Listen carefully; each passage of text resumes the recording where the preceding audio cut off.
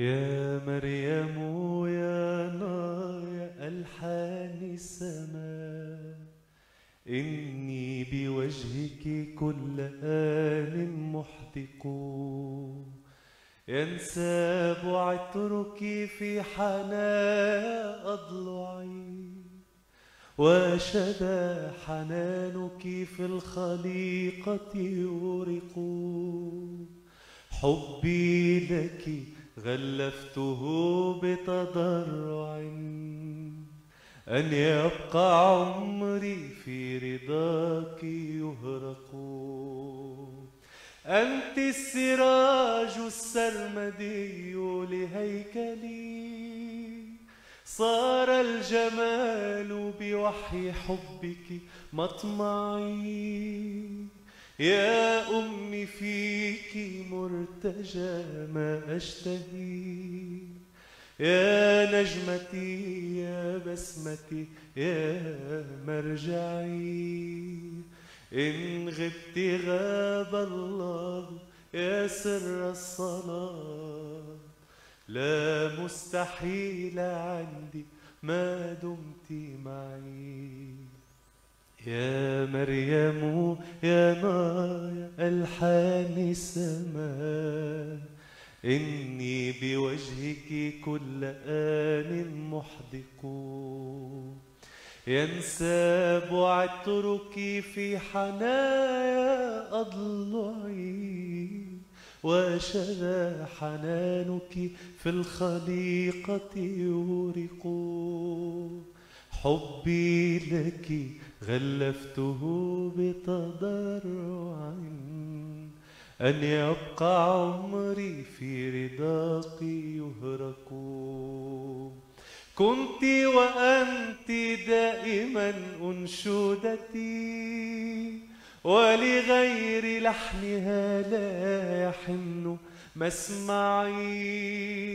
وإليك صمتي فاقبليه معبرا. عما أعي وعما ما قد لا أعي. يجتاحني جوع إلى الطفولة. انتهت عنك فاض حوض مدمعي. يا مريم يا نايا ألحان السماء. إني بوجهك كل آن محدق.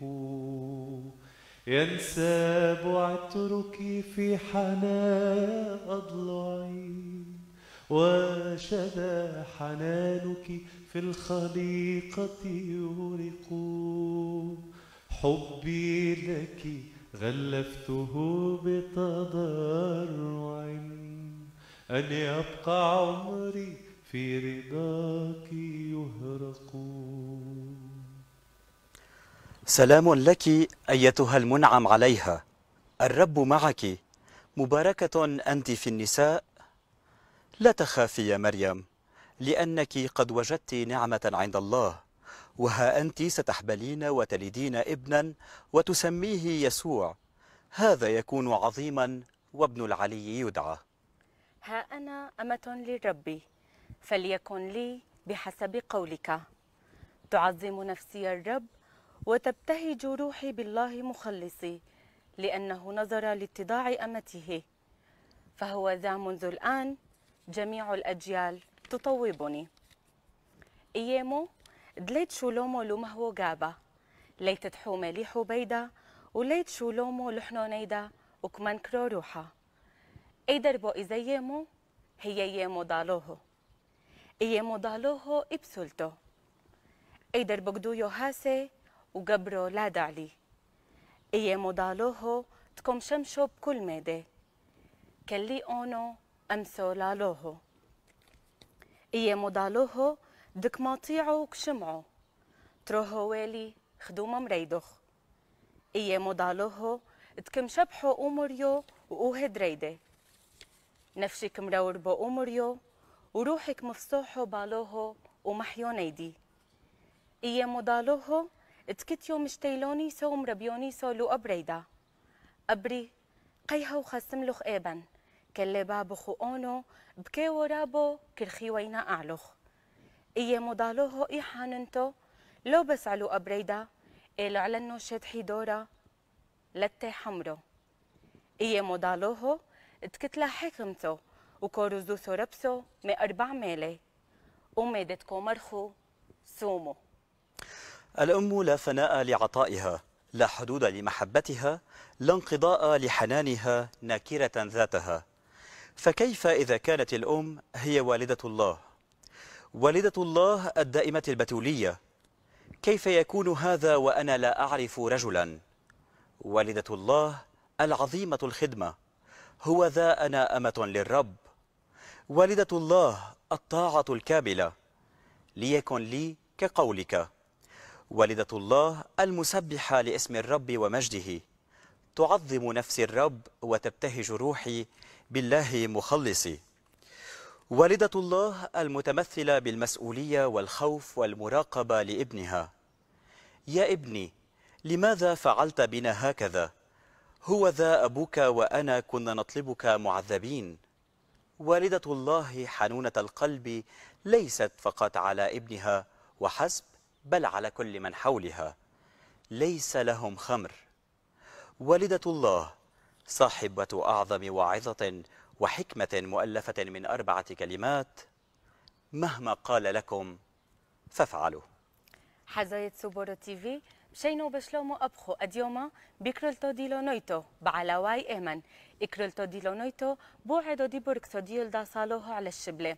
وعيدانو اللي دأديو مكو سيمينا إكرول تاسي مقوم ديعيتو ديول دا صالوهو بعطشاني زبنو دتريشو عقد ما فيتينا لي أعمي خو أونو طارق شلومو طارق شينو مريم اسمحي لي هيك بالبداية. أول شيء عايدك كونك تحملي اسم مريم وينعاد تودي. عليك ببركة السيدة العذراء. تودي تودي. وينعاد كمان على كل ال- الأشخاص يلي هن بيحملوا اسم مريم ماريا مريانا سيدة وأيضا كل مشتقات اسم السيدة العذراء مريم. ينعاد عليكم بكل البركة والخير والصحة والسلام. نحن اليوم لكل الأشخاص يلي عم يتابعونا وقرروا يقضوا معنا هذا الوقت بحلقة خاصة آه، من أمام كنيسة السيدة العذراء بالعطشانة لحتى نرافقكم بهي الحلقة الخاصة بمناسبة عيد بركة السيدة العذراء على السنابل. اللي يكون معنا ضيوف كتار رح يكونوا معنا وفقرات أكثر وأكثر رح نرافقكم فيها. فسوق غلبة أديو ما قد ما فيتينا نبيكرول تيدن بعلاواي إيمن قطوة أعمينا را- رابان روجي أخرس مدبرون تحكسد هوغوية سوريوية فاترير خوسد أنطيوخ وتكوله مدنحو سوريوية أرثوذكسو مزمرونو ميشيل الخوري وأنطوني عبد الكريم تكتيورا شومو قد ما قد ما فيتينا زبنو دتريشو أعمية بفسوق أيضا دائما. أكيد فقراتنا كثيره وبداية مريم مثل ما متعودين ومثل ما دائما متعودين بكل حلقة أنه نقدم صلواتنا على نية معينة. اليوم نية السيدة العذراء وأيضا بركة السيدة العذراء يلي حالة علينا وحالة على كل الأشخاص يلي رح تتابعنا بخلال حلقتنا آه، على شاشة سوبورو تي في. رح نقدم آه، هي الصلاة الخاصة بأولى فقراتنا مصلينا على محدودة.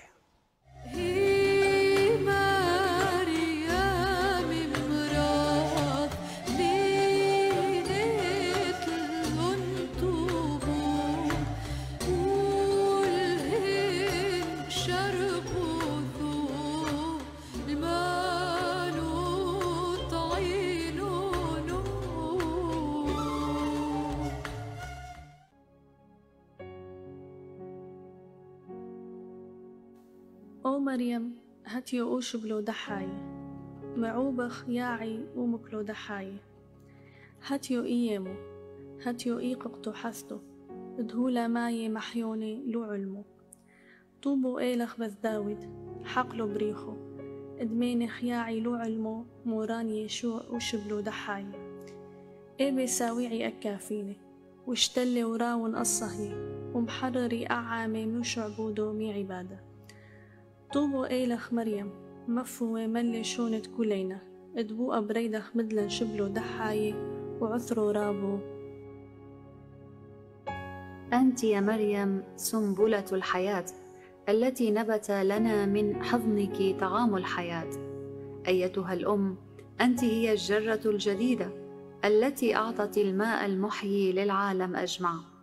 فطوباك يا ابنة داود أيتها الحقل المبارك فمنك نبت الرب يسوع سنبلة الحياة الذي يشبع منه الجياع ويرتوي العطاش وتتحرر به كل الأمم من العبودية.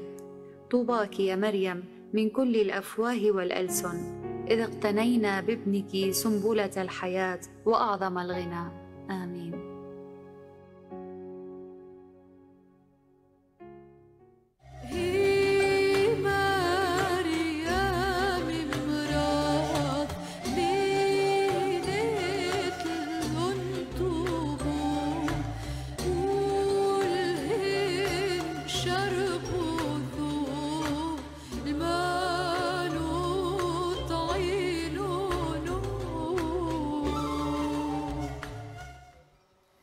مصاليلا عم حدودة مصاليلا ومعليلا إسلو سيدا دميدينا ايبوركسو ديول دا صالوهو دبولا إيبوركسو بحايدا تقدرينا ملخينا خد ايدر بو اديوما إيبوركسيد على الشبلة هوغك طلبينا تويو إيبوركسو بحايدا كولي لو بس اديوما كل يوم كفيشينك مصالينا وكطلبينا وكطلبينا ايشفا ديول دا صالوهو دو أبريدا يشوع دمبرخي كنا احايدا تون أعمينا وملخي أعمينا آه، بكل احايدا بكل يوم وبكل شعسو بكل ذبنو بأيمن أديوما آه، كمينا بشينو بشلوم الكل. حد هاوي أعمينا على فرس حزوة سوبورو تي في. وأين دهاوي أعمينا على دا فيدن دو فيسبوك سوبورو تي في كمينا نخوب شينو بشلومو وكتلن صبيونو دما فيتينا زبنو باسيمو أديوما بكرول تيدن إيدي لونيتو هيش كنترينا منيخو. إجروسو أو أمملتخو ديالي فينا كنا قكش معينا على منيخو علومن يونيدن دو واتساب. صفر صفر تشعو اشتوحا شوعو حا اشتوحا حمشو حمشو تريشوعو. كمينا بشينو بشلومو نقحريتو. دما فيتينا اكرول تيدن اديوما ايمن آه طارق صار اليوم آه الوقت يمكن لحتى نبلش بحلقتنا الخاصة لليوم. أكيد من بعد ما قدمنا صلواتنا آه، للسيدة العذراء أكيد ولكل الأشخاص اللي عم يتابعونا لازم نبدأ حلقتنا لليوم بمجموعة كبيرة من الفقرات أيضا ل- الضيوف اللي رح بيرافقونا بهي الفقرات. ورح نرجع نرحب بكل الأشخاص يلي انضموا لنا على صفحتنا على فيسبوك سوبورو تي في ناطرين كل مشاركاتكم وأيضا لا تراسلونا وتحكونا وتكونوا معنا أيضا على آه، رقمنا على واتساب 00961 7161 5527 خلينا نروح ونشوف مين في ضيوفنا لليوم ونسلم عليهم وترافقونا أنتم كمان بحلقتنا. خليكم معنا. رح نترافق أنا وانت مريم سوا ونروح بأول ضيف من ضيوفنا لليوم عنا الفنان التشكيلي أنطوني عبد الكريم. أهلا وسهلا فيك. ميرسي وإن شاء الله شكرا أول شيء آه، شكرا على الاستضافة وإن شاء الله بتطلع لوحة حلوة بتحبوها. أكيد نحن ناطرين كل إبداعك. وكل فنك اليوم بخلال حلقتنا ورح نرجع نترافق نحن وأنت أنطوني okay. بخلال حلقتنا. شكرا. لك. كمان بنتابع جولتنا وبننتقل. مرحبا كيفك؟ أهلا وسهلا ميشيل. ميشيل الخوري حضرتك مرنم. رح ترافقنا كمان بصوتك بخلال حلقتنا. وإن شاء الله بينعاد على الجميع وعلى كل المشاهدين وأنا كثير مبسوط إني معكم. thank you نحن مبسوطين أكثر وأكثر ناطرين ترافقنا بمجموعه من الفقرات بإذن الله. أهلا وسهلا. أهلا. شكرا. شكرا. كمان بفقرتنا الأساسية كمان رح يكون في معنا الأب الربان روجيه أخرس مدير دائرة ربنا. دراسات السريانية ببطريركية أنطاكيا وسائر المشرق للسريان الأرثوذكس. بارك مور أبونا. اللهم بارك. بارك مربونا اديو مكتوت أعمينا ددعينا زتر اعمخ مي دعتي دخ دهات تكتلق علي يلدا سألوه. وكل ما دي زتر اعلك ددعينا لعم حدودة اعمخ رابان روجي أخرس. تودي تودي غلبة شكرا على الاستضافة وإن شاء الله عيد بركة العذراء يكون بركة لكل المؤمنين والمشاهدين اليوم. آمين. شكرا أبونا برفقتك أكيد أبونا. آه، حلقتنا اذا لليوم صار وقت لحتى نبدأ فيها لحتى نكون بمجموعة من الفقرات وخاصة بأولى فقراتنا لليوم. أولى فقراتنا لليوم آه، فقرتنا حزيلا نهر ورح نترافق اليوم آه، عن عيد آه، نحن اليوم آه، أول نقبشين وبشلوم تودي. ابونا أكيد في صحايا ساقيت كتت اديوما أعمينا. آه، أبونا نحن مثل ما نعرف بكنيستنا السريانيه أكيد السيده العذراء في لها آه، مكانة خاصة في لها مكان خاص نحن بكنيستنا. اليوم هو عيد بركة السيده العذراء على السنابل. نحن كم عيد في للسيده العذراء بكنيستنا؟ الكنيسة السريانية مريم بتعيد للسيدة العذراء بمحطات مختلفة من السنة الطقسية. وفي محطة أساسية اللي هي عيد البشارة اللي هو أساس لكل الأعياد أساس عيد الميلاد يلي على اسمه مسميين نحن سوبورو تلفزيون سوبورو يلي يعني يعتبر مثل عيد كل عيد عذراء هو عيد لهذا التلفزيون فينا نقول حتى اليوم. إذا عيد البشارة هو الأساس يلي فيه تجسد السيد المسيح صار بشر ببطن العذراء اللي هو أساس مثل ما قلنا لكل الأعياد ب 25 أذار. كمان في عنا من بعد عيد البشارة طبعا احاد مرتبطة بالعذراء مثل بشارة العذراء ومثل زيارتها لإليصابات عيد الميلاد طبعا. بعد عيد الميلاد عندنا تهنئة العذراء ب 26 كانون الأول كمان هذا عيد خاص للسيدة العذراء. عندنا كمان بنعيد لها عيد ميلادها للعذراء اللي هو ب 8 أيلول ونحن ما بنعيد عادة للقديسين إلا عيد آه، وفاتهم يعني انتقالهم للسماء لأنه هو عيد ولادتهم بالسماء بينما فقط السيده العذراء ويوحنا المعمدان بنعيد لهم عيد آه، ولادتهم. هيدي شغلة لازم نعرفها. وفي السيدة العذراء ويوحنا المعمدان خاصة؟ السيدة العذراء عم نعيد بهذا العيد إيه. عيد الميلاد. إيه، لأنه آه، يعتبروا أكبر أو أهم شخصيتين. ال- السيد المسيح بيقول عن يوحنا المعمدان لم يولد بين مواليد النساء من هو أعظم من يوحنا المعمدان. طبعا هذا الكلام يشمل العهد القديم كله. يوحنا المعمدان هو أعظم مواليد النساء. والسيدة العذراء قيل عنها أيضا هي مباركة بين النساء. فبتشوفي في شخص رجل يوحنا المعمدان وفي امرأة هي المباركة بين النساء. ومشان هيك شفاعة العذراء ويوحنا المعمدان كتير مهمة. بتشوف حتى القداس السرياني ببلش أول جملة يوحانون دعم دخ ومريم دي مريم دي لثخ يوحانون دعم دخ هنون نهون لهم في صون حلفين يعني مريم والدتك ويوحنا الذي عمدك فليكونا شفيعين لنا نعم عندك. هالشخصين وبالإضافة تنكمل باعياد العذراء. نعم. طبعا في بركاتها بركاتها على الزروع ب 15 كانون الثاني على السنابل مثل اليوم 15 أيار وب 15 آب عيد بركتها على الكروم وعيد انتقالها هيدي أعياد السيده العذراء بسنة التقصيه السريانية آه، ابونا نحن عم نشوف انه آه، مثل ما ذكرت. إنه إن كان باقي القديسين أو هاي عم بيكون في عيد لا الانتقال هون السيده العذراء في كذا عيد وأعياد البركة. يعني مثل ما ذكرنا ب 15 كانون و15 أيار و15 أب. آه، من أين اجى الأصل لهدول الأعياد؟ إيه على أعياد بركة السيده العذراء في تقليد بالكنيسة. في تقليد. هيك خليني بس اعرف شو يعني كلمة تقليد. التقليد يشمل كل ما تسلمته الكنيسة منذ نشأتها حتى اليوم يعني كلمة تقليد بالسنة بنسميها مش المونوثو المش المونوثو يعني التسليم كل ما تسلمناه من آه، تقاليد عادات آه، أعياد إلى آخره طقوس تسلمت من بداية الكنيسة يمكن نعم. غير مكتوبة في الكتاب المقدس ولكن انتشرت بالكنائس المسيحية المنتشرة في العالم في ذلك الوقت ووصلت لنا. من التقاليد عندنا آه، سيرة السيدة العذراء يلي منا مكتوبة بالكتاب المقدس ولكن مذكورة في تاريخ الكنيسة وبالتقليد الكنسي. وبسيرة السيدة العذراء يلي ترجمها للعربي سيدنا مارغريوس صليبة شمعون مطران الموصل سابقا يلي بنحييه وبنشكره على هالترجمة اللي قدم لنا إياها. بسيرة السيدة العذراء بيذكر أنه الرسل عند تشييع السيدة العذراء هي صاعدة إلى السماء بالنفس والجسد. بيقرروا أنه يدونوا سيرة السيدة العذراء. وبيقرروا أيضا أن يحتفل بعيد للسيدة العذراء ثلاث مرات بالسنة. مرة بكانون الثاني من أجل الزروع ومرة بأيار ومرة بآب ب 15 آب من أجل بركة الكروم. الهدف كان طبعا أنه الشعوب قديما كانت تحتفل بهالأعياد الزراعية. وكانت بعض الشعوب الوثنية طبعا تطلب معونة الآلهة الوثنية لتباركها تبارك الزروع تبعها لأنه شعب كان يعيش معظمه من الزراعة. فيطلبوا أنه ربنا يبعد البرد والضرر عن الزروع يبعد المصايب الأوبئة ممكن مرات الشوب الحر الجراد يأكل الزرع. فيطلبوا البركة على الزروع يطلبوا البركة على أيضا السنابل وقت بنيسان أو أيار وقت الحصاد وبركتها على الكروم. هيدا الأصل التاريخي هو تقليد آه، كنسي في الكنيسة. يلي بنذكره في شغلة حلوة ممكن نحكيها هون بالطقس السرياني بيقول آه، في عنا بيت على لحن قوقويو بيقول لما وصل يوحنا الرسول ومعه كتب سيرة السيدة العذراء اللي كتبون الرسل إلى مدينة أفسس وصى ومثل ما هو مكتوب بهذا الكتب إنه يتعيدوا هالثلاث أعياد بأفسس. وبيقول لما وصل لهونيك صار في نوع من ندى نزل على الأرض.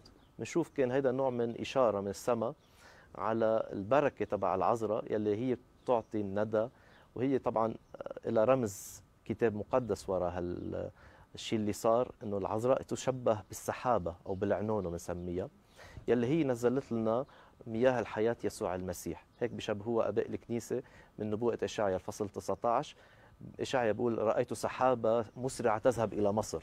فشافوا الأباء بهالسحابة المسرعة اللي تذهب إلى مصر. مريم حامله يسوع وذاهبه إلى مصر.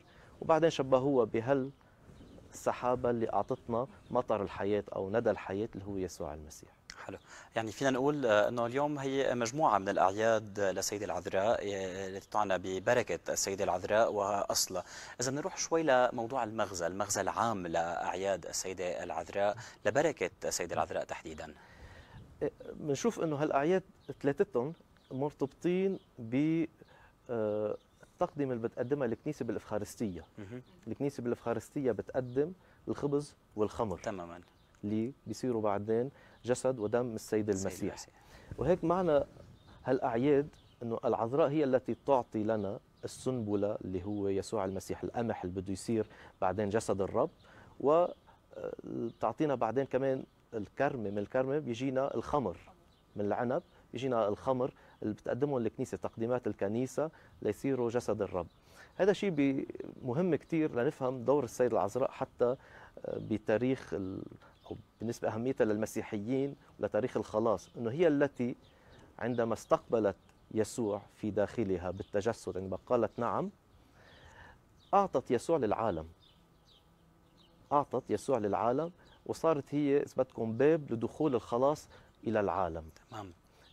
فاذا أهمية أو مغزى هالأعياد هي مع ارتباطها بيسوع المسيح. نحن عندنا بتقليدنا السرياني ما في عذراء خلينا نقول لحالها دائما العذراء ومع يسوع. بالصور بالأيقونات بالصلوات دائما العذراء مرتبطة بالمسيح. فإذا تعييدنا لأعياد العذراء هي لأعياد العذراء بارتباطها بالسيد السيد المسيح. يعني بهالنصوص والصلوات بنشوف كيف تشبه مثلا مريم بالأرض التي تعطينا سنبله الحياة بتكون المسيح السنبلة. بتشبيه الثاني بسموها هي السنبلة ويسوع هو القمح يلي يقدم على المذبح فيما بعد كقربان. آه، بشبهوها أيضا بالكرمة. الكرمة هو لقب للسيد المسيح قال أنا هو الكرمة الحقيقية. ولكن بتشبيه آخر إذا أخذنا صورة لمكان آخر العذراء هي كرمة أعطتنا أيضا خمرة الحياة اللي عصرت على الجلجلة وفي تأملات كتير على هالصور حلو. إذا حاولنا فتنا هلا قبل شوي بموضوع الأصل وفتنا بموضوع المغزى اليوم آه، عن آه، تحديدا عيد بركة السيدة العذراء على السنابل. آه، كمان من الأصل والمغزى في مجموعة من العقائد. هي العقائد بتكون خاصة بالسيدة العذراء. إذا فينا ناخذ كمان لمحة عنها العقائد تخص السيد المسيح. تماما. الألقاب إنه في عقائد خاصة بالسيدة العذراء مهم. بالتقليد السرياني خلينا نقول الأرثوذكسي العقائد تخص الله. يعني نقرأ بقانون بتعرفوا نؤمن بإله واحد قاعد ضابط الكل. بكل قانون الإيمان تذكر السيدة العذراء بدورة بأنه هي ولد منها السيد المسيح ومنها الروح القدس.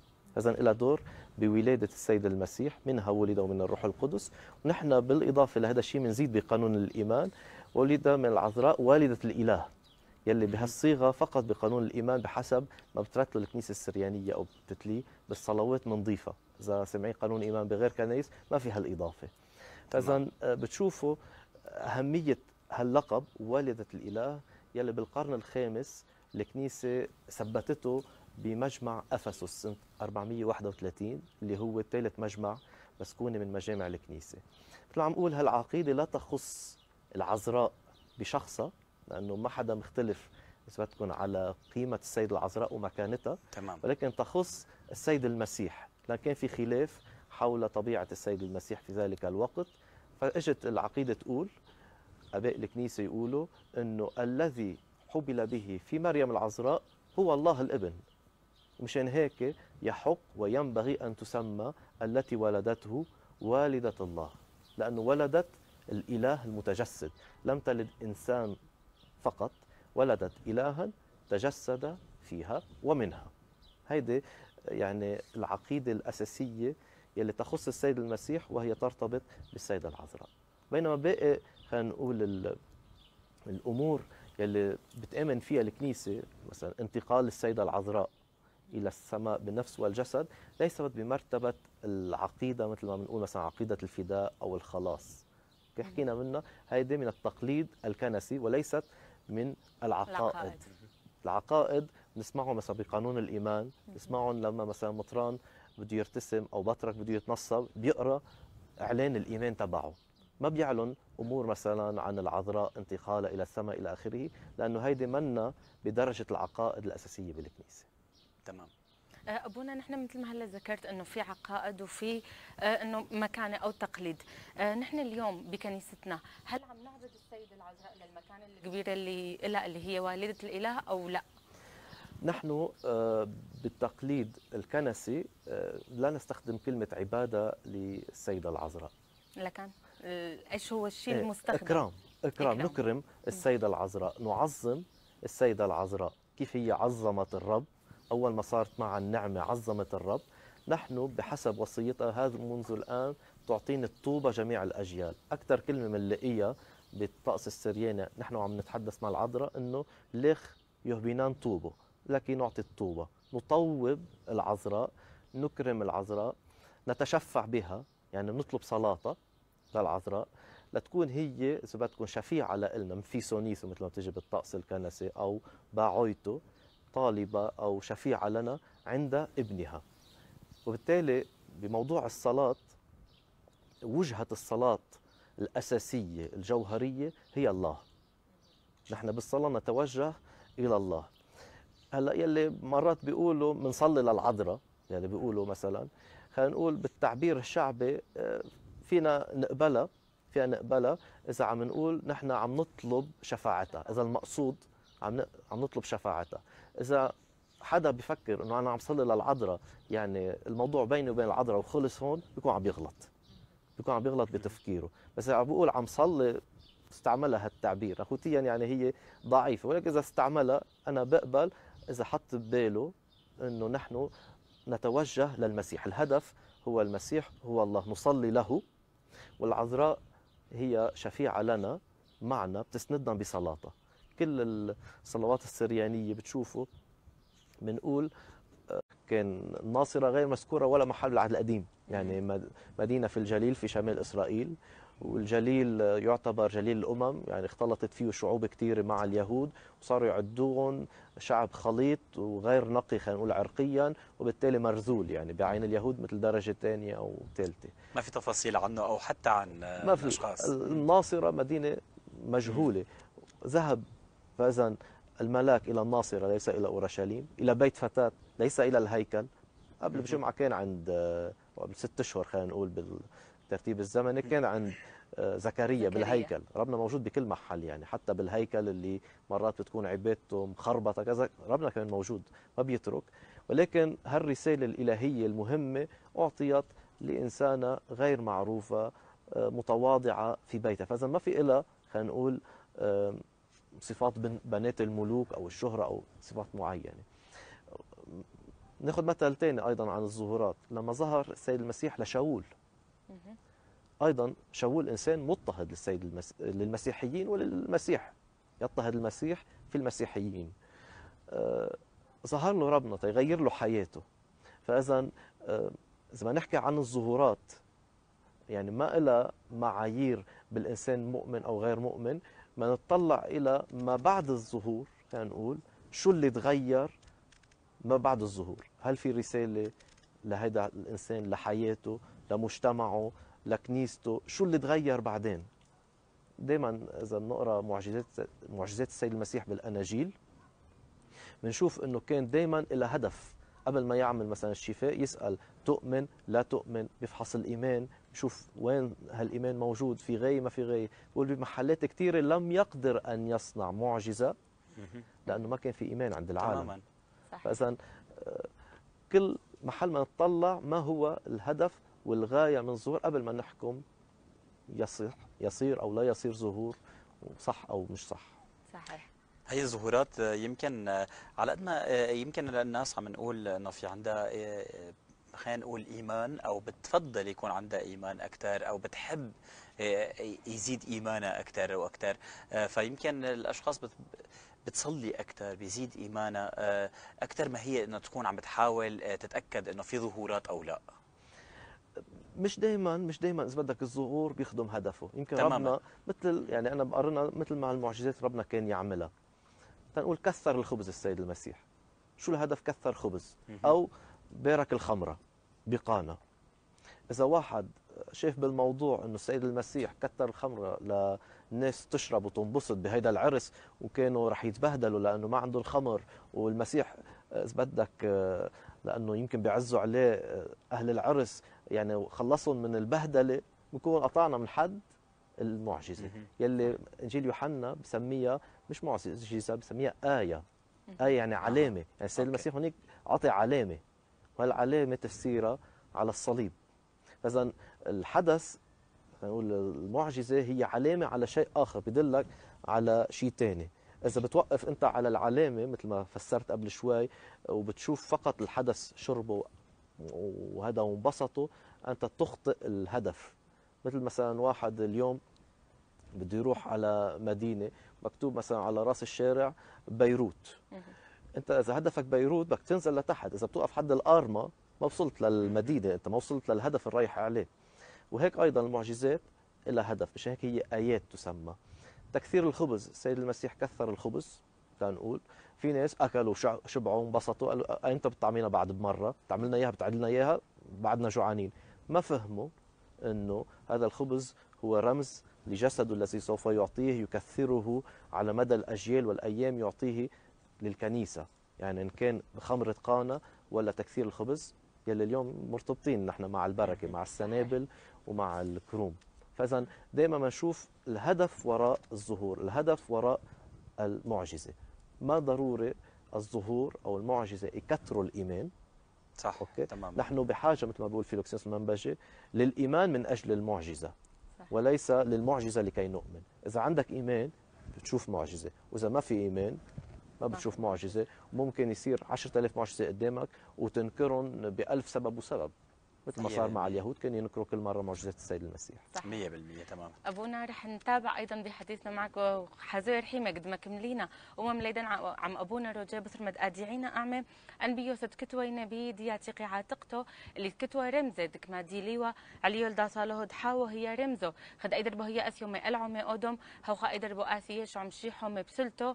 الكتيو ايو دا صالحو هش إي علاقة كتوى د موشي ان بيو هاتست رمزه آه، لي يلدا صالحو أم، اديعين استعم عمو أبونا إيدر بود اديعينا أو زونورو. دا إيدر بو مكتشفت كتيو بي عيتو دامو زونورو بحمص. إيدر بو آه، بو زبنو د تليسوي توبة وفاتر الخو آه، مورغناطيوس آه، افريم برسوم أقامويو. اللي د اديعينا آه، ده هي دحزالة و ايجر سو بصرت آه، وكارخ أعلى وحزالة عم- آه، عماني دي وزارة. ده أثار بسوريا ود اديعي ده اوزونورانو تكتيو مودورو قامويو. استد الظهورات أو أوجليون تكود إنه دي يلدا صالح الدنفيقة بي عيتد مر فترة فولوس بيمسد بلبنان اللي تكتوها ب 1900 بعصرونيسن أدعينا أعمى على الغلبة مدونة وقدر بكون التدم روساني اللي إحنا كلو زملن هيمونوسو. تحوزينا اي تدمرتو لو تحوزينا تدمرتو الجنتويلن هيمونوسو. قد ما كملينا أحنا بوما مليدن عم أبونا روجا ولكن رح نتوجه لحتى نسمع ترتيله من ميشيل الخوري بهاي المناسبة ببركة السيدة العذراء على السنابل. يا امي البسما لحمل هموم الناس. صلاتي بقدمها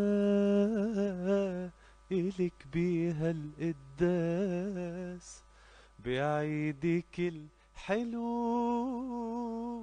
زهر وجه الكون.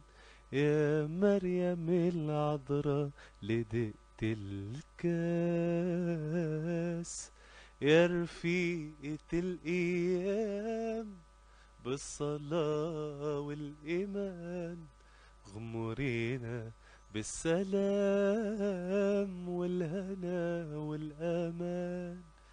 فيضي على الأرض المحبة والحنان يا مريم العذراء احمي لبنان.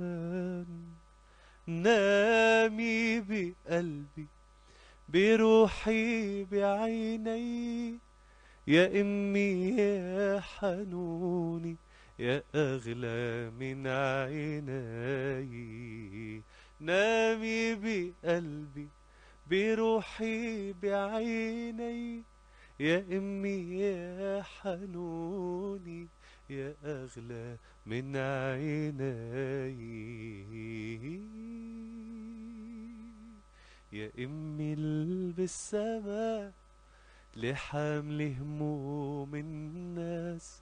صلاتي بقدمها إلك بيها القداس. بعيدك الحلو زهر وجه الكون. يا مريم العذراء اللي دقت الكاس.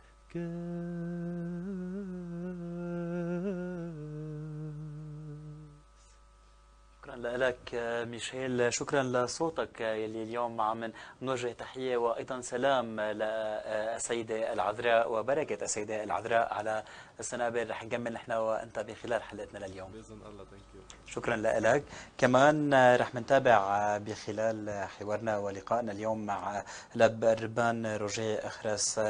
حكينا عن موضوع الظهورات حكينا عن العودة للسيدة العذراء مريم بخلال الكتاب المقدس. في ألقاب معينة أطلقت على السيدة العذراء بخلال الكتاب المقدس؟ كان في ألقاب واضحة للسيدة العذراء إذا فينا ناخذ هيك ولو لمحة عامة عن موضوع هي الألقاب. أول لقب خلينا نقول الأهم من أين لي أن تأتي إلي أم ربي؟ فهي أم الرب. وهذا دائما بذكرنا. بارتباطها مثل ما قلنا بالسيد المسيح. تمام. فهي أم الرب. هيدي أول لقب اللي الكنيسة بعدين طورتها لهالمصطلح اللاهوتي يولداث آلوهو أو تيوتوكوس باليوناني والدة الإله. لأنه الرب هو الإله واحد. فهي والدة يعني أكثر من حتى من أم إذا بدكم في دقة لاهوتية الأم ممكن تكون أم روحية. مهم. يعني مثلا بنقول المعمودية هي أم روحية لإلنا. بس العذراء ليست فقط أم روحية هي أم بالجسد للسيد المسيح ولد منها بالجسد. فإذا مش هيك؟ ولدته فهي والدة بالإضافة لكونها أم. فإذا والدة الإله أو أم الرب. لقب الثاني مثلا مهم جدا هو نستخدمه بالسرياني توبونيسو المغبوطة. ليش؟ لأنه ها منذ الآن تطوبني جميع الأجيال. هذا لقب كتير محبب. ثلاث مرات بالأناجيل العذراء أخذت طوبة ناخذ المرة الأولى لما هي راحت عند إليصابات وقالت لها إليصابات طوبى للتي آمنت بما قيل لها من عند قبل الرب. شوفوا أساس الألقاب دائما بالكتاب المقدس. طوبى للتي آمنت. بعدين هي بتقول ها منذ الآن تطوبني جميع الأجيال. ثاني مرة طوبى ثالث مرة كمان. هيدي إذا بدكم ثلاث تطويبات بالأناجيل لما يقولوا للسيد المسيح لما سمعوه طوبى للبطن الذي حملك وللثديين اللذين رضعتهما فإذا هي ثالث مرة العذراء بتاخذ الطوبة أيضا مرتبطة مع ابنها. تماما. يعني بهالثلاث مرات. ولقب ثالث خلينا نذكره أخير هو المبارخته المباركة. بتشوفوا مرات حتى تحت الصور السريانية مكتوب مش مريم أو العذراء مكتوب بس كلمة واحدة المباركة. هذه هي المباركة بين النساء. تماما. هي يمكن الألقاب مجموعة من الألقاب يلي اليوم أطلقت على السيدة العذراء بخلال الكتاب المقدس أيضا. إذا بدنا نروح ونعرف هيك كمان ظهورات السيدة العذراء بخلال العهد الجديد بالكتاب المقدس. كان في لها مجموعة من من الظهورات. اليوم في مجموعة من الذكر هي ذكرت بأماكن معينة بالكتاب المقدس. بالعهد الجديد ننتبه كثير مهم إنه ذكرت السيدة العذراء بمحطات أساسية تماماً. اللي هي آه، عند تجسد الرب.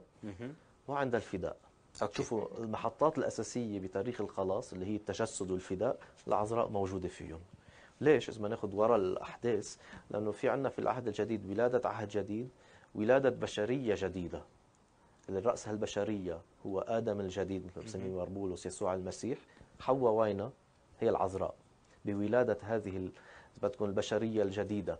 هي تلد المسيح هذا المقارنة يعني آه، جسديا آه، عند ولادته بال بالبداية إنجيل لوقا أو بداية إنجيل متى بنقرأ أحداث الولادة البشارة والولادة. والسيد المسيح بدكم يلد العذراء روحيا ولادة روحية. هذا تأمل بمار أفران بيقول مع الفداء الذي سوف يعمله على الصليب. نشوف مريم واقفة تحت الصليب. بيقلنا بإنجيل يوحنا وكانت أمه واقفة تحت. الصليب. هيك حلوة كتير هالواقفة تحت الصليب. منا منهارة. الأم اللي شايفة ابنها منا منهارة ولكن واقفة آه، تحت الصليب. وعم تشوف شو عم بيصير. تنتظر وعم تسمع كلمات الملاك بدينايا يملك على بيت يعقوب إلى الأبد وعم بتشوفه على آه، الصليب ف في يمكن بقلب العذراء مثل ما فسروا بعض الآباء يمكن قطعت إذا بدكم سهم شك. وأنت يجوز سيف في قلبك. هذا قال لها اياها سمعان الشيخ. يمكن هي وعم تسمع مريم وعم تتذكر كلام الملاك وين القلية الملاك وشو عم شوف أنا هل انتهى كل شيء؟ فمن بعدها العذراء كمان من الذين بقوا أمينين مع السيد المسيح حتى النهاية مع باقي النسوة كمان هي من أول الشهود الذين يشاهدون القيامة. فإذا إذا ناخذ هالمحطات الأساسية يعني العذراء أهميتها ولو لم تذكر خلينا نقول بباقي الإنجيل غير محلات قليلة فينا نحكي عنهم ولكن الأهمية ذكرت بطرفي الأناجيل بالأحداث المهمة للخلاص تمام. بالتجسد والفداء. صحيح. أبونا مثل ما شفنا هلا إنه عم يعني شفنا الألقاب اللي أطلقت على السيده العذراء والأماكن المهمة اللي انذكرت فيها مثل ما ذكرت المحطات الأساسية للتجسد والفداء. آه، شخصية العذراء مريم شلون كانت هاي الشخصية؟ مثل ما ذكرنا أنه ظهر للملاك وشاف تواضعها. فإيش مميزات شخصية العذراء مريم؟ التواضع الطاعة الخدمة الفرح بفرح الآخرين. يعني لما تسمع مثلا اليصابات أنه عندها طفل بتروح لتفرح معه اليوم إذا ناخذ العالم تسمعوا حدا تاني ناجح أو عنده فرح بحياته مش كل العالم تفرح صح. له. مرات اللي بيحسدوه يمكن تتفاوت ردات الفعل. تتفاوت. فإذا هالروح المتواضعة الطيبة الخدومة الخدمة يلي موجودة ذهبت لتخدم منشوفها. وإذا بدكم آه، هالوضوح وتوجيه الكل نحو السيد المسيح. هي بتعرف بقانا قلنا مهما قال لكم فافعلوه. عم بتوجه بتعرف وين الحدود. يمكن بتتدخل شوي بتطلب من السيد المسيح بدالة الأم والسيد المسيح يمكن شوي بيقول ما لك ولك ما لي ولك يا امرأة. بعض الناس هيك بتقول إنه ليش صد السيد المسيح؟ كأنه رفض له طلب. بس السيد المسيح آه، حب يفرجي آه، إذا بدكم بنفس الوقت إنه هو يحترم حواء الجديدة سماها إمرأة. مثل ما حكينا عن حواء الجديدة أعطاها هيدا الدور لأنه اسم حواء هو المرأة. وبنفس الوقت خلى فرجة أنه هو عندما يجري هذه الآية يجريها بدكم كمان آه، لهدف اللي شرحناه قبل شوي يرتبط بالصليب وهالآية بتدل على الصليب. وليس بنشوف إنه طلب أم وابنة. يعني ما بده يتاخذ الحدث بهذا المحور. فشوف العذراء هي بدكم التي تدل على السيد المسيح وهذا بيدل قد في بشخصيتها من حق مش اللي هي بتفتخر بابنها شوفوا ابن اللي هو لا هي تشير حتى بالأيقونات بتشوفوا ايدها تدل إلى السيد المسيح هي التي تشير إلى آه، السيد المسيح. آه، محل تاني كمان بالإنجيل بنشوف لما يجي ويقول آه، من هم أبي وإخوتي وأمي من هم أمي وإخوتي؟ كل من يسمع كلمة الله فهو أبي وأختي وأمي. كمان بنلاحظ إنه السيد المسيح هون وكأنه عم في ناس بتفكر إنه عم بيبتعد عن عائلته الجسدية. إيه ولا؟ يعني في شيء إنه السيد المسيح ما بده العالم تفكر إنه هو فقط من هذه الأرض وهيدي عائلته هي أمه وهيدا أصله لأنه في أصل تاني من السماء. بس بنفس الوقت مين اللي سمع كلام الآب؟ العذراء. فإذا. هي بالأولى امه اذا بدكم آه، إيه جسديا وروحيا صار في هالمعنى إنه هول بيكونوا أبي وإخوتي وأمي كلهم على المستوى الروحي. والعذراء كان لها هذا الدور.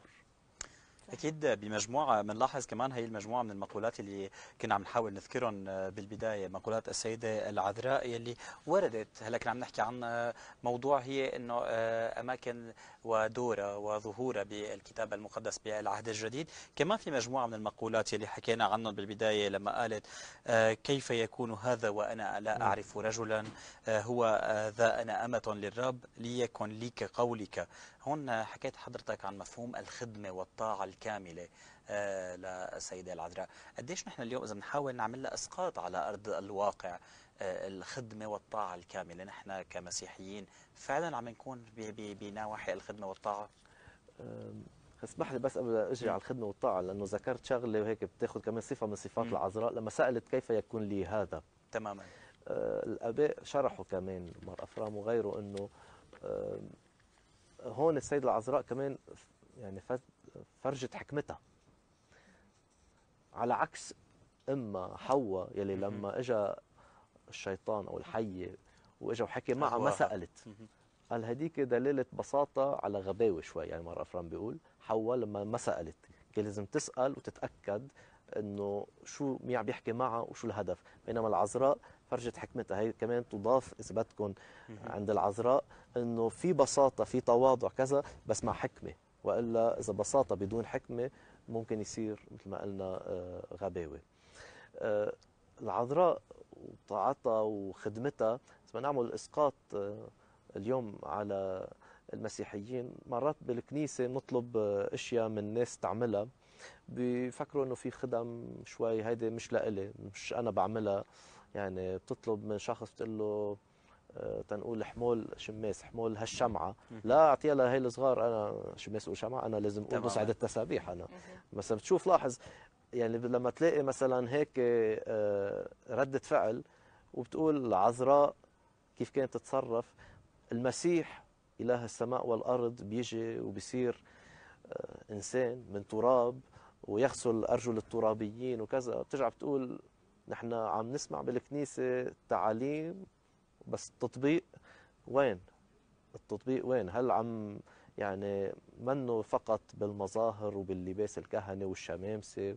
عم باخذ مثال واحد يعني فينا ناخذ أمثلة كثيرة آه، لازم هن بالأولى خدام المسبح أو الكهنة هيدا يكونوا متمثلين. يعني لما بلشنا حديثنا قلنا العذراء نشوفها لنتمثل فيها هيدا أول شغلة. يعني قبل ما ناخذ اذا بدكم نروح آه، بالتأملات الكبير الكثيره والكذا منه فقط شعر هيك عم نكتبه للعذراء لما كتبوا الآباء. كل شيء كتبوه من صلوات بقيت لليوم هي لنتمثل فيهم. إذا ما كان في هالمثل هالقدوة كله على العبث. أكيد. مربولوس بيقول اقتدوا بي كما أنا بالرب. اليوم مين منا في يقول اقتدوا بي اقتدوا بي. كما أنا بالرب؟ مين بيسترجي؟ يقول هذه الكلمة. لازم كل واحد يفحص حاله يشوف هل بيقدر يقول اقتدوا بي كما أنا بالرب. أكيد هي المعنى يمكن والمغزى الأساسي ضمنيا هي بتكون القوة والحقيقة أكثر صحيح. آه، أبونا رح نكمل. آه، ونوجه للمتابعين إنه الشيء اللي انحكى هلا. حزير حيمكم ملينا وعلى علم شمهوسا ديال دا صالوه والقاب اللي دميري أعلى اللي هي كتيو إيه مد آلوه أو يلداس آلوه ولقب دهيو ايلا بيعي تيدن دهيو ايلا امبارختو تكتيو امبارختو بنيشة وهيو ايلا الطوبه اللي هي مرلا معدو بصر الدورة كلها كوبلي طوبة وهيو ايلا طوبوسو غلبة هاني وين أمشم هو سيدة وآدي عينسته دهي بوك سو قادشة أو بدياتيقي حداتا الدكوسة دنفيقو ابيه هن تكت وين الدكوسة الصوي ساقية اللي بيمس قش مونوسو دو آلوهو وإنا قدو فرقوني اللي تكتوا هي أعم يول دا صالوها أعمى مي قاميتو مينا قد مينا دو مولودي ده حيالة أعمى أجت شدا حايدة كلها إنا قد عابر لو هيكلو. وبصر مينا هل فايشو أعمى اللي حاريتو إنا قد فرق لنا علو صليبو وبصر مينا تكتوا هيش بقيمته قد ما كملينا آه يكرل تيدا اديو عم كل حد كتيو عليدا فايدا دو فيسبوك. تكيتو أعمينا آه ميسون بحث كمواصلات حلوة وصوت جميل عذرا تحميكن. آه أيضا بطرس القس العذراء المريم تباركن كما باركت السنابل. ألبا مادو عيدو بريخو. وأيضا معنا مطانوس أبو عيد برامجكن مشوقة وكأنه في عطش وحاجة. لقناتكن جميلة ربنا يبارك فيكن وبهمتكن وأيضا بارك مور أبونا ما فيكتوريا شيمو بارخ مور ابون ميقرو رجاء أخرس. شلومو مريم وطارق الله يقويكن ويحفظكن إن شاء الله. بركة السيدة العذراء تكون مع جميعكم نصلي ونقول هلال هلال هلال هللويا أو يشوع شبحو لشموخ طوبو لموخ بربع فنيون دبريسو. ملفونيتو فيكتوريا موسى شمو من السويد بشينو بشلومو ملفونيتو فيكتوريا. وأيضا آه، عم بيقول وسام ت- توضيح وشرح رائع. أكيد شكرا كثير وتودي ساقي لكل حد كتيو أعمين على فايدا دو فيسبوك. آه، كمي آه، وقلد ميشيل؟ شافيرو يغلب موقع محدودة جزان وقد شمعينا آه، زمرت ديعي توما. ميشيل ميشيل رح نسمع كمان ترتيلة منك. آه، وكمان بعيد السيدة العذراء. والناس آه، مثل ما هلا سمعنا بالكومنتات عم بيقولوا إنه صوتك حلو فصار الوقت لحتى نسمع الترتيلة. شكرا لكل المشاهدين. إليك الورد يا مريم. يهدى من أيدينا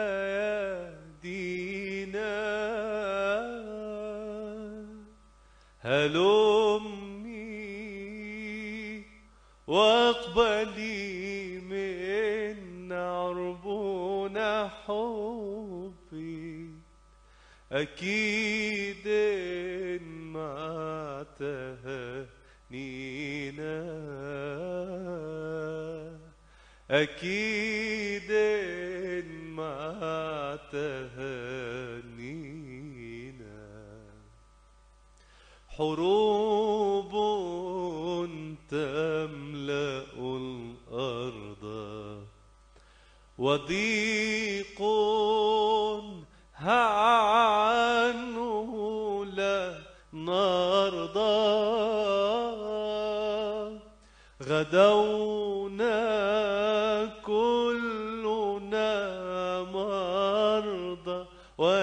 وليس فينا سواك من يداوينا.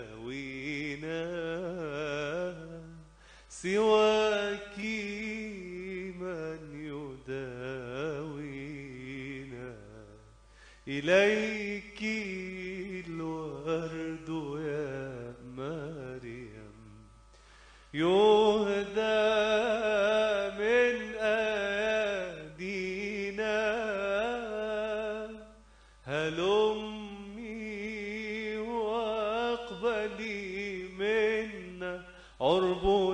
حبي أكيد ما تهنينا. أكيد ما تهنينا. على الأبواب أطفال لهم في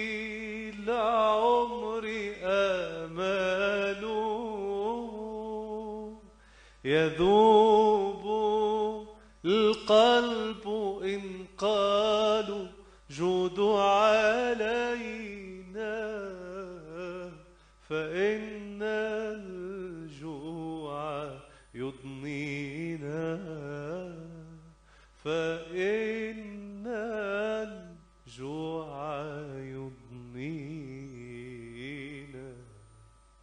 شكرا ميشيل والله يحملك هالصوت. أكيد رح نتابع معك كمان بحلقتنا لليوم. رح نتوجه لعند أنطونيو ونشوف آه، أنطونيو آه، اين صرنا هلا باللوحه لوحة السيدة العذراء. كنا أول شيء عم نرسم الوجه والتفاصيل الوجه. هلا اين وصلنا آه، خلصنا الوجه وال- والتفاصيل وملامح الوجه والثوب كمان وبلشنا بال بال fond وبال auréole. تمام. حلو كتير. أكيد رح نرجع ونشوف كمان ونتابع معك أنطونيو. آه، أبونا مثل ما كنا عم نحكي قبل شوي عن السيدة العذراء عم بنشوف هلأ آه، يعني التعظيم. العذراء مريم هي عم تعظم الإله. هي والدة الله وتعظمه لما عم تقول تعظم نفسي الرب وتبتهج روحي بالله مخلصي. ال- الميزات اللي عندها أو الصفات إنه اللي هي والدة الله وعم تعظمه كمان. التعظيم آه، هون كتير مهم. نفهم المقصود بكلمة تعظيم. ربنا عظيم بذاته. لا يعظم إذا بدكم إذا صلينا له ولا ينقص. صلواتنا لا تزيد عليه ولا تنقص عليه. ورجانوس بيقول عندما نعظم الرب نحن الذين نعظم. يعني نحن نرتفع إذا بدكم لما آه، نعظم ربنا. وليس هو ربنا إذا بدكم بيكبر أو بيصغر. أوكي؟ هذه مهمة نفهم التعظيم مثل لما نقول نبارك الرب هو مبارك بذاته بس الذي يبارك هو يتبارك. نقدس الرب. عندما نقدس هو قدوس بذاته. لا تزيد القداسة عنده ولا تنقص إذا قدسنا أو لم نقدس. ولكن الانعكاس هو على الإنسان الذي يصلي يعظم يبارك يقدس. إذا العذراء تعظم الرب. يعني عم بتقول كل ما أخذته من رفعة من عظمة. أعيده إلى الرب. ما هو لك؟ ما هو منك؟ أعيده لك. يعني هذا أساس بمفهومنا للصلاة المسيحية. كل شيء بحياتنا هو نعمة من عند الله. بقول أي شيء لك لم تأخذه بقول مربولس كل شيء فإذا هو عطية من عند الله. ويجب أن نعيده إلى الله بالشكر. كيف نحن بنرجع نشكر ربنا. الحياة ناخذ مثلا الحياة نأخذ الحياة كعطية من عند الرب. ونحن نعيد هذه الحياة إلى الرب عندما نسلم حياتنا للرب بإرادتنا بمشيئتنا. نسلم حياتنا آه، كل إذا بدكم تفصيل بحياتنا بنحطه بين إيدين ربنا هيدا. وبأنه ننقل هذه الحياة إلى الآخرين. تكون آه، كمان طريقة من شكر الرب على الحياة اللي أعطانا إياها. وهذا الرسالة للي مرات بيتجوزوا بيقولوا ما بدنا أولاد. يعني شوفوا قديش بيكونوا هن عم بينكروا هالعطية الأساسية بحياتهم اللي الله أعطاهم إياها. وينقلوا الحياة أيضا الحياة الروحية يلي آه، نحياها بالروح القدس. هيدي الحياة أيضا ننقلها إلى الآخرين. هيك بنكون نحن عم نشكر ربنا على عطيته الأساسية. هذا اللي عملته العذراء عندما عظمت الرب فكانت هي عم تعيد إلى الرب العظمة التي هي أخذت تنسب إلى الرب هذه العظمة. صحيح. آه، أبونا لما عم نكمل بصفات السيده العذراء كمان مثل ما ذكرنا قبل كانت مع السيد المسيح بكل مراحل حياته. نشوف لما كانوا بالهيكل المسؤولية اللي هي كانت على عاتقها لما قالت له بني لما فعلت هكذا بنا؟ والدك وأنا آه، آه، كنا نبحث عنك عنك معذبين. فانه عم نشوف هون المسؤولية إنه مثل ما ذكرنا الأمومة هي حتى فيها مسؤولية كثير كبيرة. طبعا السيدة العذراء آه، كان قلبها على يسوع من هو وصغير ربته كأي طفل خلينا نقول آه، اليوم أم بتربي طفلة. فكانت آه، قلبها عليه ملهوف عليه بيشغل بالها عليه وقع جرح حاله إلى آخره. طبعا الإنجيل ما ذكر هذه التفاصيل. شو صار بطفولة السيد المسيح. مشان هيك في ناس كان عندهم بعدين حشرية يرجعوا يكتبوا آه، أناجيل منحولة طفولة. هيدي لازم نعرفها إنه من كتبوا بعدين فيما بعد كانوا ليعبوا هالفراغ يلي الأناجيل الأساسية الرسمية المعترف فيها بالكنيسة أو بسميها القانونية ما ذكرتها. فبالاناجيل خلينا نقول المنحول في كثير أحاديث عن المسيح والعذراء وبيناتهم شو صار والى آخره. الإنجيل المقدس لما ذكر هالحادثة كان لها عبرة ليست فقط إذا بدكم على مستوى بشري آه، تع- تعامل ام وابن. هذا موجود أكيد ولكن في على مستوى روحي كان في مغزى. لما السيد المسيح بيقول ألا تعلمان أنه ينبغي لي أن أكون فيما لأبي؟ يعني من هون وبالرايح لازم تعرفوا إنه أنا لدي أب في السماء بعد شوي إذا بتقلب الانجيل الصفحة اللي بعدها هذه مثلا مرق- لوقا الفصل الثاني الفصل الثالث الآب من السماء يقول هذا هو ابن الحبيب بالمعمودية. دغري بنروح من الهيكل إلى المعمودية. هذا هو ابن الحبيب الذي به سررت. هون ببين يسوع بنوته. بيقول بإنجيل لوقا كان يظن ابن يعقوب إب- ابن يوسف ابن يعقوب ابن هالي ابن ابن ابن إلى يصل إلى آدم. ولكن كان في أيضا صوت السماء الذي يقول هذا هو ابن الحبيب. كان في هل الأصلين الأصل السماوي والأصل الارضي يلي دائما إنجيل لوقا كان عم يشدد عليهم فبهالحادثة بالهيكل كان يسوع عم بفرجي لأمه وبيه ما تنسوا الأصل السماوي. ما تنسوا الأصل السماوي. أكيد هي مجموعة من المقولات اللي كانت السيدة العذراء يعني معروفة فيهم بخلال الكتاب المقدس. كمان بمقولتين كمان تم ذكر السيدة العذراء فيهم ليس لهم خمر. بالعرس لما هي طلبت. يعني ليس لهم خمر. اليوم نحن اذا بدنا نشوف آه، خ- يمكن هي هون دلالة على آه، آه، حنان آه، القلب. يعني هي ما بس حنونة على ابنها ولكن هي حنونة أيضا على الآخرين إنه هن ما عاد عندهم خمر ابدا. من ال- الألقاب اللي نحن اذا بدكم نستخدمها للعذراء هي الملجأ. البيث أو الملجأ يلي نحن بنلجا له. تماما. فاللي عنده طلبة ولد عنده طلبة مرات كثير يلجأ دغري للأم إنه لأنه الأم مثل ما بتقولوا هي التي من رحمها يولد الولد والرحم مرتبط مع الرحمة مع الحنان ففي شيء مرتبط إذا بدكم بالأم وبالرحمة وبالعاطفة الأمومية آه، أكثر خلينا نقول من الوالد. هذا شيء خاص بال- بالأم. تماما. ربنا ما ما نقول هيك ننتبه إنه ربنا رحوم له أحشاء أم.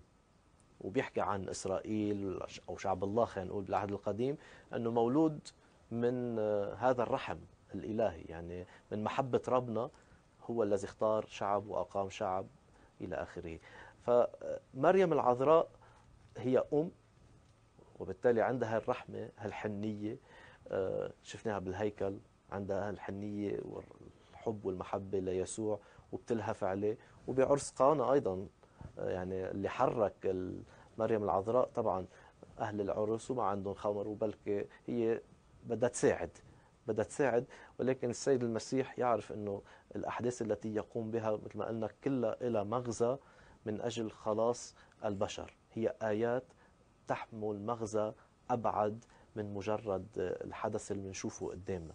هيك لازم نحن بالأحداث بحياتنا يلي بتمر في مرات أحداث نقراها بنشوف صار معنا شفنا هالمرض اجى شفنا هالشدة صارت هالضيقه أنا مش عم بتوفق بشغلي إلى آخره. مرات واحد بيغرق بالحدث هيك تماماً. ال- ال- المادي بأرضه. ولكن دائما لازم عين الإيمان ترفعنا شوي.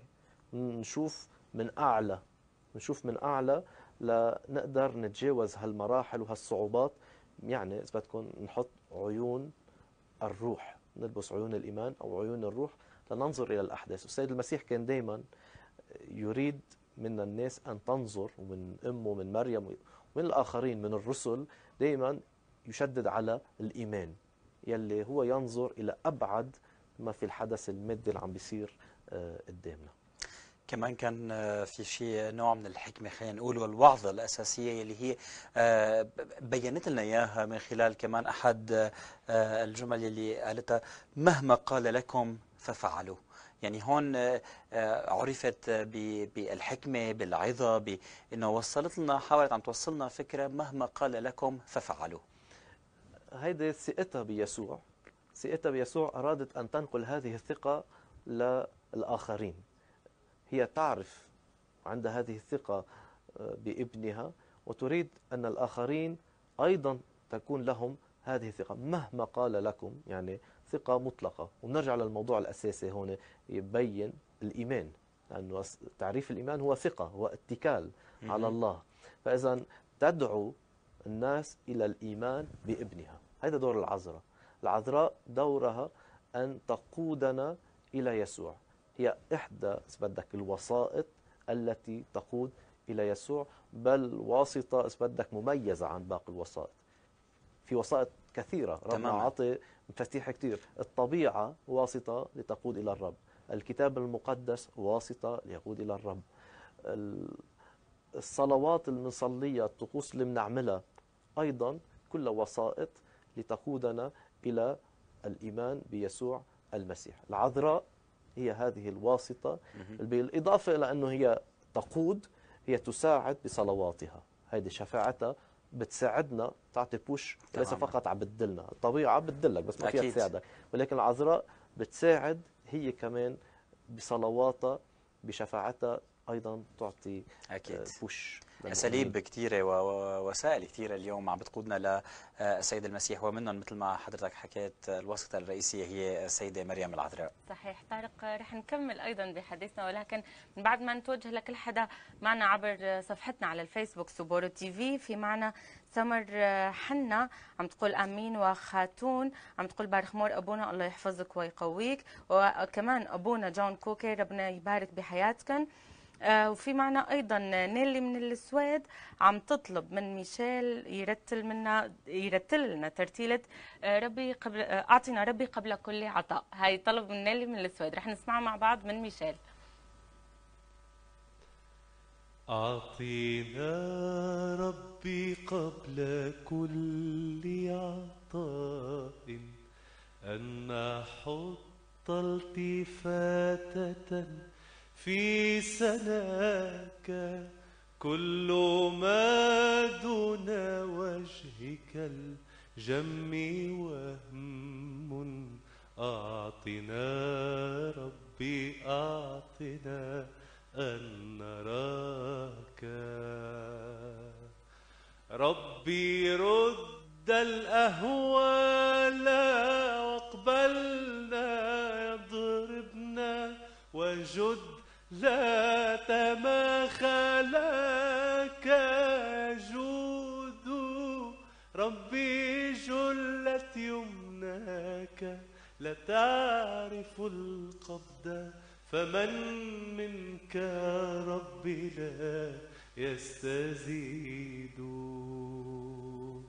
كلما غبت الحساسين من ماء رنت حلوة إليك بشكري وتعالت إليك في لفتة الصبح صلاة من زقزقات وزهري أعطينا ربي قبل كل عطاء. أن نحط التفاتة في سناك كل ما دون وجهك الجم وهم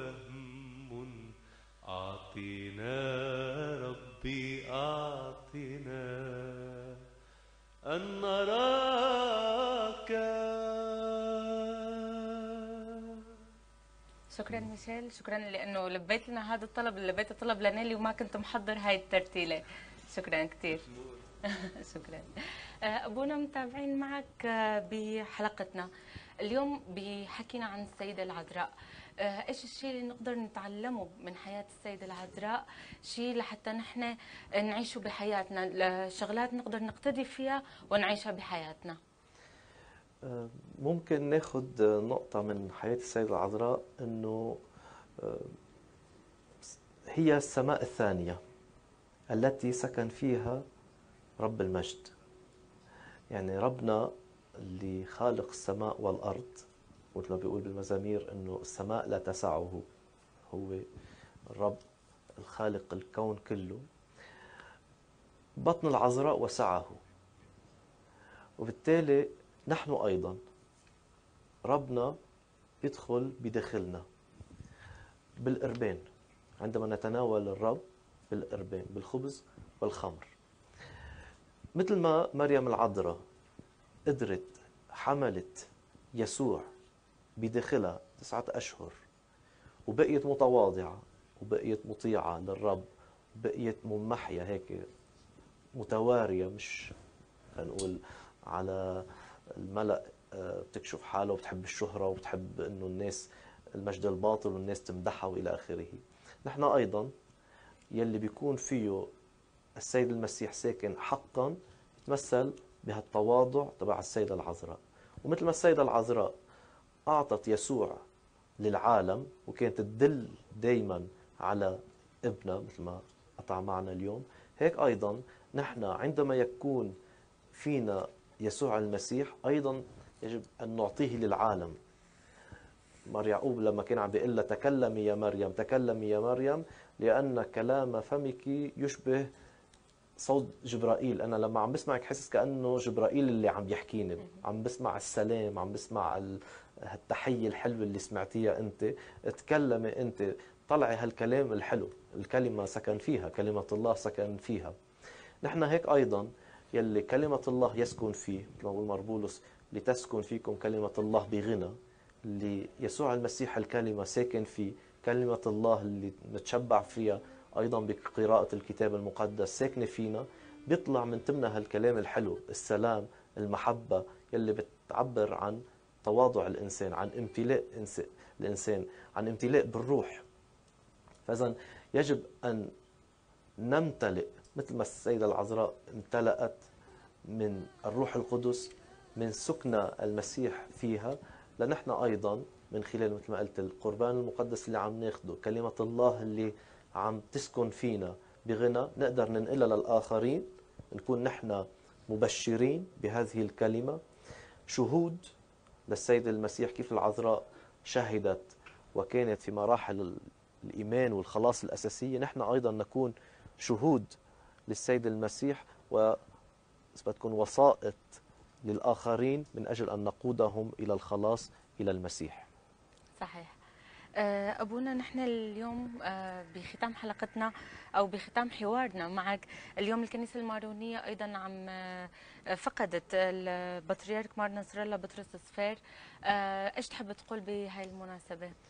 على المثلث الرحمات سيدنا مار نصر الله بطرس صفير أكيد بنقدم التعازي للكنيسه المارونية بلبنان وبكل العالم على فقدان هالشخصية اللي كان عندها كثير من صفات السيدة العذراء يعني هالتواضع هالبساطة اللي كان عايش فيها.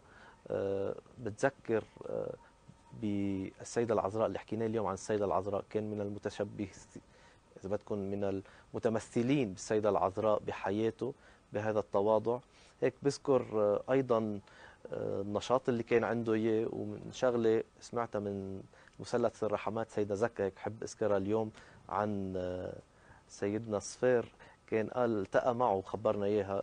بإحدى المرات كان طالع ال- التكنولوجيا الجديدة آه، وكمبيوتر وهيك وقال عن سيدنا صفير إنه تعلم. مع إنه كان كبير بالعمر حط وتعلم على الكمبيوتر وبقى هو يدق وعظاته وخطاباته ورسائله على الكمبيوتر.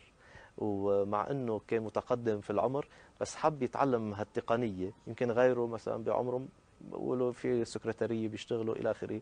لا كان يشتغل بإيده ويعمل. هيدي هالصفات تدل على إذا بدكم التواضع تبعه على ال- الانسحاق اللي كان عايشه بحياته. خلي آه، اليوم كلنا يعني سوا آه، نصلي وقلوبنا مع الكنيسة المارونية بهذا الفقدان الكبير اللي أصاب الكنيسة المارونية وبنطلب من ربنا أنه يقيم دايما رعاة آه، يحكمون بالعدل بالاستقامة في الكنيسة ويمثلون الراعي الحقيقي يسوع المسيح. صحيح. الله يرحمه كمان ونتبارك بصلواته. آه، أبونا شكرا كثير شكرا لوجودك معنا اليوم وغنيتنا بمعرفتك وعرفنا أكثر عن عيد بركة السيدة العذراء عن السنابل وعن العذراء بشكل عام. شكرا لكم على الاستضافة وربنا يبارككم. تودي تودي. بشفاعة العذراء. آمين. شكرا لك الأب الربان روجيه أخراس مدير دائرة الدراسات السريانية ببطريركية أنطاكيا وسائر المشرق للسريان الأرثوذكس. شكرا لوجودك معنا. شكرا شكرا طارق.